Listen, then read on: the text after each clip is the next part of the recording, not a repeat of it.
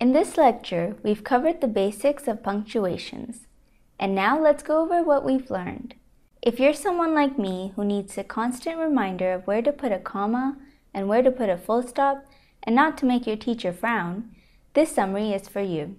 We hope that you find this summary useful as it is full of examples. We'll start with the period, or as commonly known, the full stop. You need full stops to end sentences, which is pretty clear. A full stop basically tells the reader that a sentence or an idea has been completed. The example you're seeing here is a little meta, but it sounds cool anyway. Another reason to use the full stop is to indicate abbreviations. So when you say KPK for Khyber Pakhtunkhwa, we don't end up saying Kapak. This practice, however, is being phased out.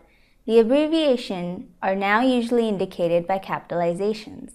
The question mark is obviously used to indicate a question. So the statement, where do you live, is asking where that person resides, instead of remarking on one's living standards. The space between the question mark and the word live is only to make the animation clearer. Don't ever add a space before any punctuation. An exclamation mark is used to indicate a command, a shout, or excitement. Imagine saying, do not call this number again, without an exclamation. Doesn't sound very compelling. Again, the spaces before and after the exclamation mark are only for emphasis. Note that it is in your best interest to avoid exclamation marks in formal writing, as it doesn't sound very polite nor mature.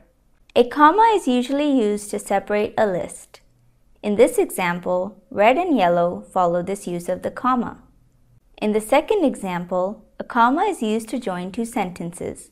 You'll learn more about this when you get to run-on sentences. For now, consider the example. I can tell you the reason, but I will not. The comma over here indicates a pause.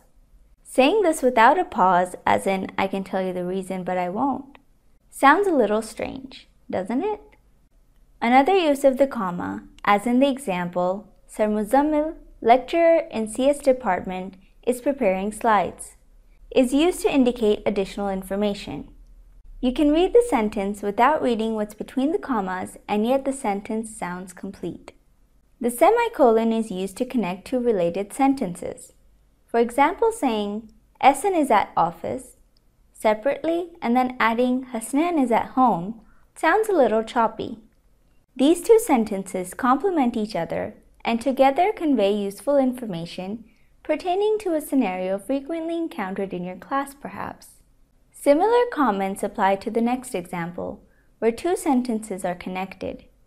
This example highlights the difference between a comma and a semicolon in that these two sentences are independent and grammatically correct on their own. Additionally, Semicolons are used instead of commas if addition of commas becomes confusing. In this example, we have already used comma for additional information, so a semicolon is more appropriate. Had we used a comma instead, it would have given the impression that, say, Shahid Khaqan Abbasi and the Prime Minister are two different people. This example brings us to the next punctuation, the colon. As in the previous example, a colon is used to show that some information follows and is pointed to. This pointing is the crucial difference between a colon and a semicolon. A hyphen is used to connect a prefix and the word, like coordinate or re-elect. This practice is more prevalent in British English than in American English. However, both English styles agree to add the hyphen to adjectives like up to date. The hyphen is also added to form compound words like 19th century novelists. A dash is different from a hyphen in that it is longer. It is added between numbers to indicate an interval or even between places to indicate a route, as in the examples shown here. Parentheses or brackets play same roles as commas in that they convey extra information and thus the phrase within the brackets may be omitted without loss of continuity. This usually isn't the case with commas. So the sentence, Asim is going to the party, in itself is complete, with the extra information my brother added.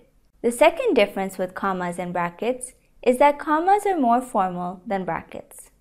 Same details apply for the next example. Another use of the brackets is to indicate an abbreviation and its corresponding meaning, like PK for Pakistan. Next on our list are the quotation marks. As it is usually the case, it is used to quote someone, as when quoting Hamlet, to be or not to be. On the other hand, if you already have quotation marks and would like to use quotation marks within the quote, you need to use single quotation marks. In this example, the word safe is sarcastic and would demand double quotes, but since this is already a quote, you need to place single quotes around it. Other than sarcasm, if you want to quote like the word actually within a quote, you should again use single quotation marks. Within quotes, people usually use what are called ellipses, written as three full stops together without spaces. This is used to indicate suppression of information for one reason or another. So the example, to be or not to be, that is the question, may be converted as follows, with the omission indicated by ellipses.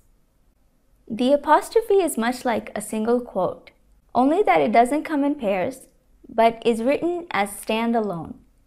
It is used to shorten words. So, for example, isn't would become is not. Another use of the apostrophe is to indicate possession, as in Amon's room or workers' rights. Notice that in the second example, the apostrophe is added after the word. This is because whenever you have a word ending with an S, like a plural or maybe a name, this should be followed. Do not shorten your words using the apostrophe in formal writing. A run-on sentence is a sentence with two sentences spliced up. An example is, I love to play tennis. I would play one match every day if I had the time. This is grammatically incorrect. This may be corrected in various ways. 1. We can add a full stop between I love to play tennis and I would play one match every day if I had the time. 2. We can also add a semicolon between I love to play tennis and I would play one match every day if I had the time. If you don't remember the rules for semicolons, you can always rewind this video. Alternatively, we can also add a comma that would be grammatically correct as well. Both, however, have a slightly different meaning. A semicolon is used to give complementary information, whereas a comma is used to indicate a pause in a complete sentence. Next on our list is determiners which are words like the, and, this, or even whose. There are two types of determiners. The first type is the indefinite article, which is used to refer to a general word like a report or a letter. The indefinite article a is not used carelessly. Instead, the indefinite article an is used whenever there is a vowel in the beginning, like an engineer or an American. The second type of determiner is the definite article the. It is used to indicate a singular word, as in the beginning. However, it is wiser to capitalize the first letter of the word, like the beginning or the ending, if you are referring to a singular event, like Rose Azal and the Akhira. Similarly, if you are referring to the general life of Shah Rukh Khan, you wouldn't add the word the. But you would if you have some specific aspect of his life in mind. Also, if you're referring to someone's family, like a Khan family, you'd add the before the sentence. But you wouldn't if you were referring to a single person. This is because you can't add the before a proper noun. But there's an exception. You can add the definite article to proper nouns which refer to places, like the Margalla Hills or even a group of islands, say the Bahamas. Though you shouldn't use this with every place.